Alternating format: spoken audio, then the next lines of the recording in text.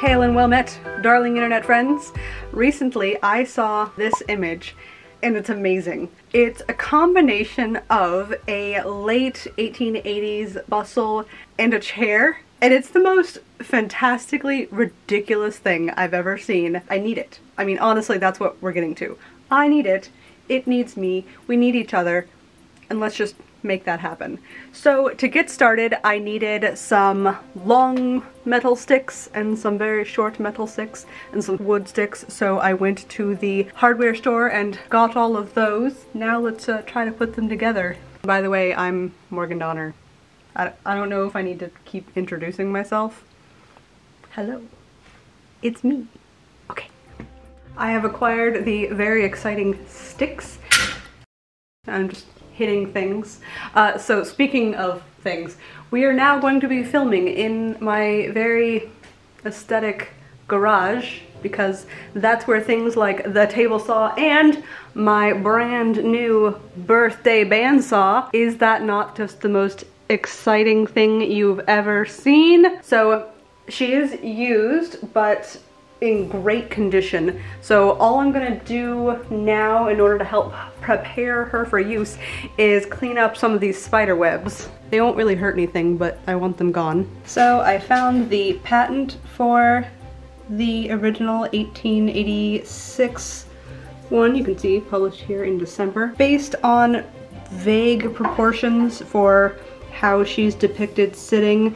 I estimated at this length proportionate to my own body and then from there proportionally scaled up the other elements so that is vaguely what we're going for here today. Here's our big wood stick. We're going to cut it, make it a smaller wood stick. So we didn't need that whole big long length. We've cut it down to just what we need. And then from here, we're gonna cut it into a bunch of narrow strips for the legs.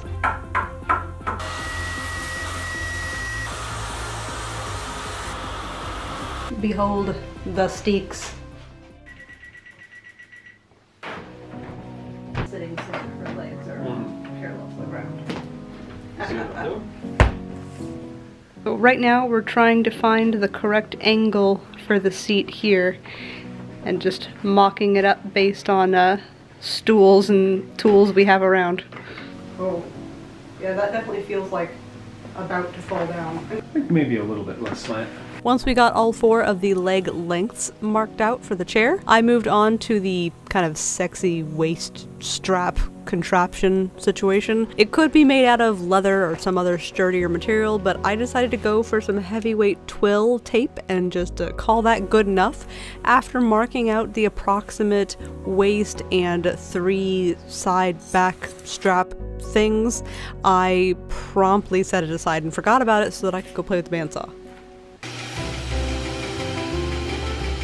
And then, of course, the blade immediately breaks, which, you know, cool, cool, cool, cool, cool, cool, cool. Hopefully, that is just an old blade and not some like misalignment error with the machine. For now, we're gonna set this aside and use other tool. It's an A. Well, I guess it's a V. Once we put down the crossbeam bit, it'll be an A. Like this. Yes, there we go. Now it's an A. Da da da da. So, explain what what happens here? So I'm gonna cut away about half of this and then the corresponding half of this to make a lap joint. Um, and then down here, uh, I'm going to cut this and then basically mortise and tenon these, which might be tricky with my mortising chisels packed away. That that would make that difficult. Is there a way to do it without mortise and tenon? Uh, we could do it the Victorian way by slapping metal braces over everything.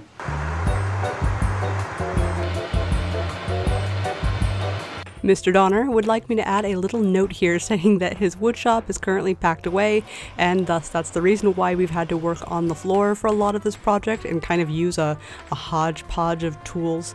He promises that his shop is normally much nicer.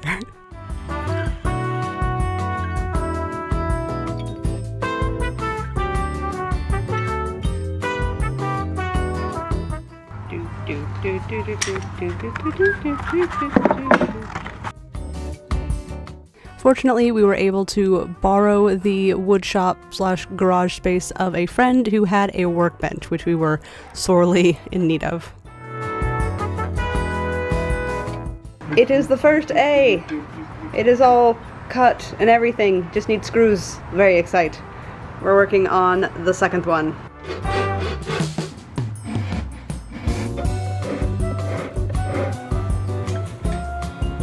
We've pretty much done all of the wood cutting, now it's just gluing things together as needed and then giving them 24 hours to dry. Alright, so while that glue is drying up on the chair, I'm going to show you what just came in the mail. So today's video is sponsored by Hunt a Killer and I had this whole like bit planned out. I was going to put on the finished chair bustle thing and be like, now that I can sit wherever I want, let's play a game. But I'm really, really impatient. And I kind of want to open this up and check it out now. So let's see what we've got. Comes with a cute little pin. Can you imagine being out and about and like seeing someone else with a Hunt a Killer pin and being like, oh, I know where that's from. And then we have a big old- Hunt a Killer is like a cross between a murder mystery novel and an escape room. You can hang out with your friends on a video call or snuggle up on a date night and solve the puzzle together, or even alone if solo adventure is just more your style. Part of what makes this game so cool is the very tactile nature of the game pieces. They clearly put a so lot cute. of thought and effort into designing a really interesting experience. Right now, you can go to huntakiller.com slash Morgan and use code Morgan for 20% off your first box. Again, make sure to use code Morgan for a 20% discount. Do you have what it takes to hunt a killer? So the glue in our wood joints is still drying, but in the meantime, we can go ahead and get started on getting the brace attached to the underside of the seat. This is going to be really nice because now the strongest part of the legs is going to be supporting the brace, and then the brace is going to support the entire underside of the chair, which is just fantastic. It should lead to a pretty strong and sturdy result.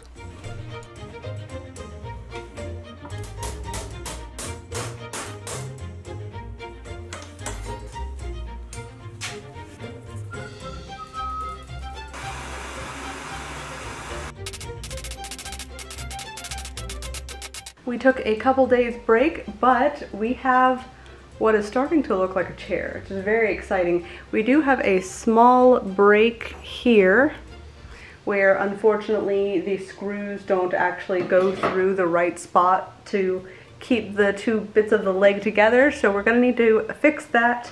We have the first crisscrossy brace done, zigzagging down the leg. Very exciting. I need to make a second one and I probably should get started on the waist strap contraption component.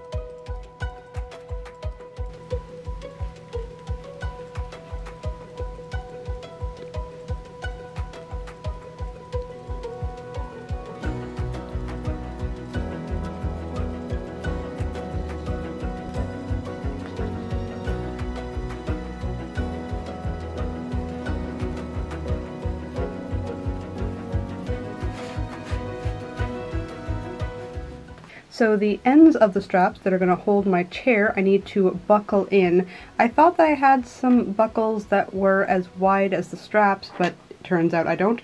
I don't even have three matching straps, but that's okay. This will be the buckle end of the strap, and this will get attached to the chair. I feel like that'll be a little bit more sturdy, because if this breaks, it's easy enough to just replace that, but I want to I wanna attach this to the chair, so I prefer it be something on the sturdier side.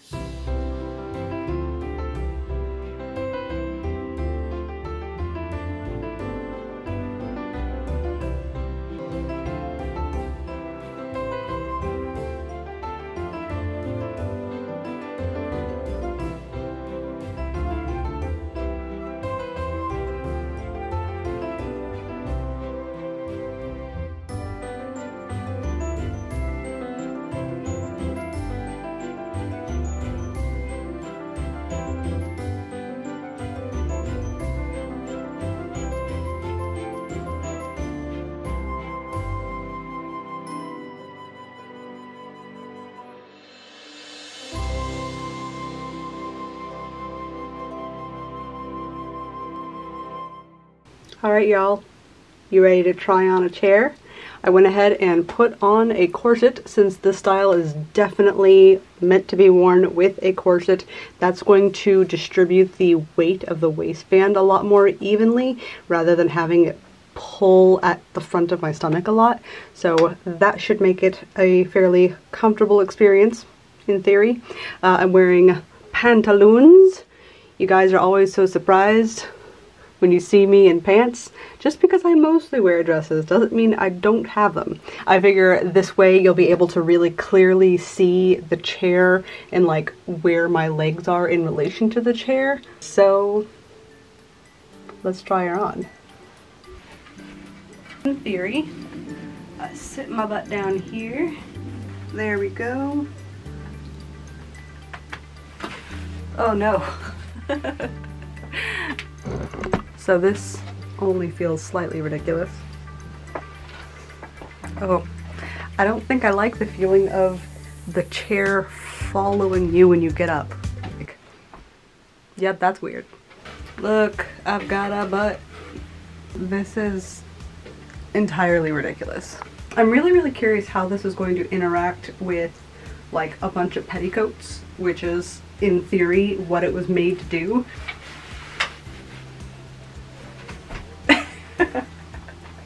You want to come see me put on my chair that you made 90% of? Sure. Come on, come on. Have you seen it since I put on the straps? I have not seen it with the straps attached to it. Here are uh-huh. straps. Oh, Very oh. good, yes. Yes, Very yes. Looks like it's holding with you bearing. Yeah, no, it, it definitely doesn't feel like I'm gonna crush it. Nice. Chair has succeeded at test number one, not falling apart. and two, being able to hold weight. It is interesting. Obviously, I've not had like long-term uh, walking about. Yeah.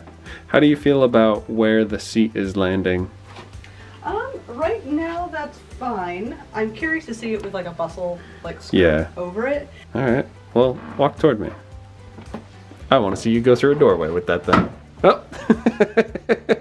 I'm glad we didn't go too much narrower. I feel like that would have been an issue.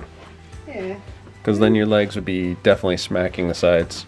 Initial like results are promising. Mm-hmm. It it fits. I sits. Very good. Mm-hmm. Uh, next up, I'm going to put on all the the skirtsy bits.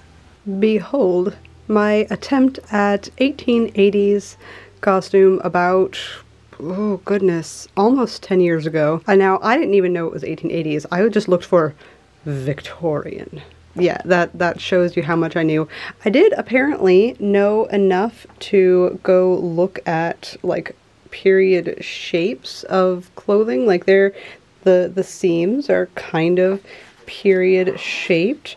Uh, the the pieces on the side here like that is very kind of recognizably late Victorian, which is cool. There are a lot of very interesting choices with this. And, you know, I thought it might be fun to do kind of a little look down memory lane with me. So, amusingly, when I got this out of the closet, I was legit surprised that it had hooks and eyes inside because I distinctly remember the first time wearing this, which I think I only wore it once or twice.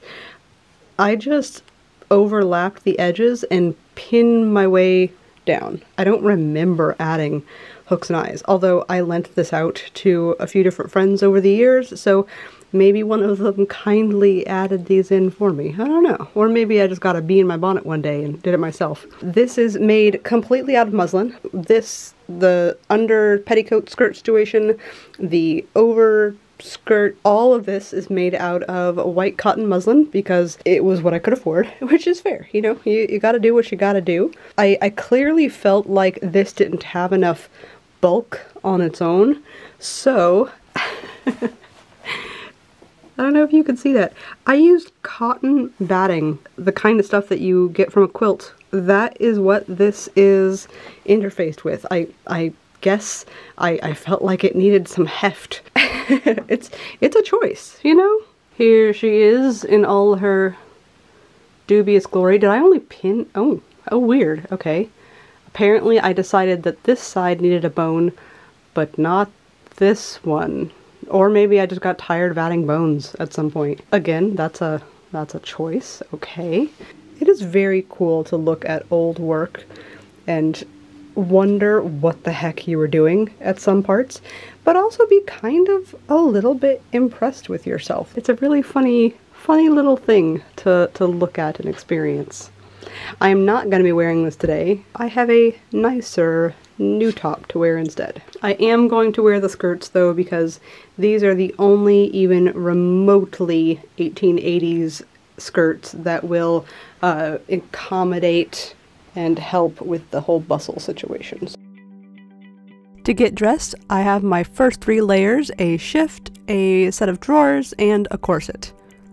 For those of you that have been asking me what I do with my laces, I like to tie them in a very simple bow knot and then tuck the excess in below the center opening and then off towards the right. This keeps them nice and neat and out of the way. For a fourth layer, I've tossed on a shirt and what what am I doing?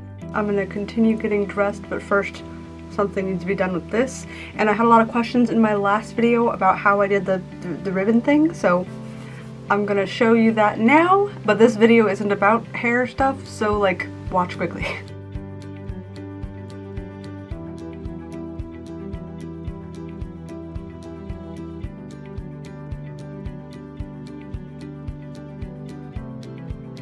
That was probably about as clear as mud, but hopefully it at least vaguely got the uh, the point across. I think I'm gonna curl my little wispies here so that they're Looking all extra cute, although I could leave them down. No, 1880s. Let's go curl them. The fifth, I guess, layer is going to be the bustle chair itself, and then a little bustle pad over top of that, since the chair doesn't really add anything higher up where the skirt support is going to need it. Seventh is the first petticoat, and eighth is a second petticoat. This is such a cute style that I have clearly not put closures into. I love the ruffle and pin tuck look of the 1880s. It's kind of ridiculous, but so, so darn cute. On a whim, I tried on my new 1890 skirt to see if it would fit over the chair, and it totally worked, so now it's layer 9. Continuing with my lack of closures, I've pinned the overskirt on top, and uh, I don't I don't know that this bustling is correct at all, but meh. And now, unfortunately, because I have never actually added any finishing to this at all.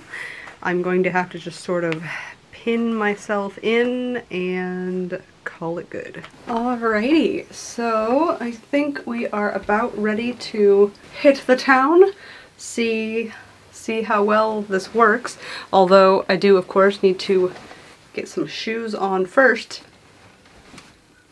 We have landed, everything's fine. Shoes. Oh, well see there's my first hitch the skirts can catch under the leg of the chair, which makes it tricky when you want to move your skirts around. What a weird invention. Now that I am dressed and have pretty pretty shoes upon my feet, ignore that blue tape, it's there for a reason. Anyways, how am I gonna get into the car?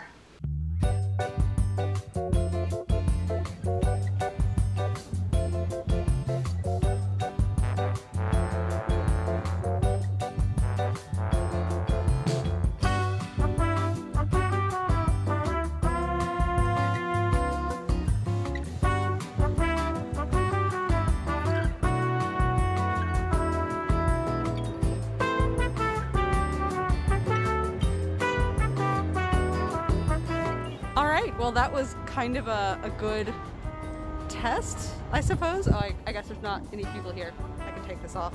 Can I? No, I can't. Sorry. That wasn't too bad. Like, it's... It was a good, like, extended walk around the mall. Not, not too bad. I didn't feel like it was hitting things. I wasn't knocking stuff over all over the place, which I legit a little bit of a concern. Not bad. Hmm.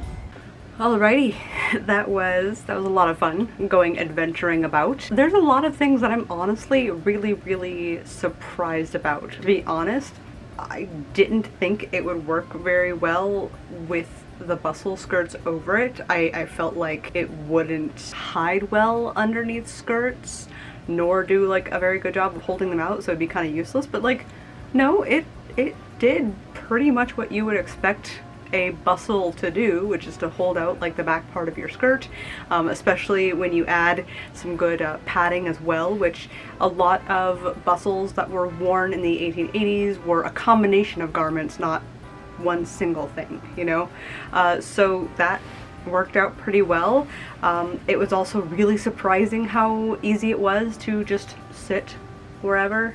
Like, that I thought it was going to be super finicky and you do have to be careful. I feel like you don't expect your seat to be tilted slightly, which we did because that was what was on the patent diagram. I think it probably would have made more sense and like felt more normal if it had been flat. But mm, I guess I don't know until I actually try it out. But, you know, all in all, not too bad, not too bad.